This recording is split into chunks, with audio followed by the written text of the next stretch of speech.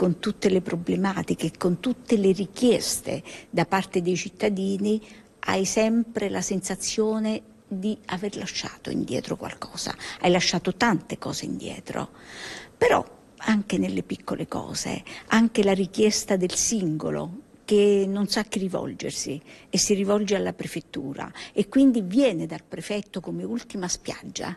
Ecco, questo è un fatto, ho ascoltato, ho parlato con una persona, ha rappresentato il proprio problema. 14 mesi racchiusi in una certezza, lo Stato c'è. Il prefetto di Roma, Gerarda Pantalone, va in pensione e fa un bilancio. Occupazioni abusive e sgomberi, problema sociale, lo definisce. Rifiuti e lockdown, i grandi temi di questi mesi, con le conseguenze del Covid che ora sono usura ed estorsione. E così è in arrivo una piattaforma internet. Annuncia in collaborazione con la Camera di Commercio per scoprire subito i segnali di infiltrazioni mafiose nell'economia in pensione ma in realtà ancora al lavoro. Lavorerò alla Corte dei Conti e quindi c'è già in itinere un provvedimento e quindi incomincerò con lo stesso entusiasmo un altro lavoro.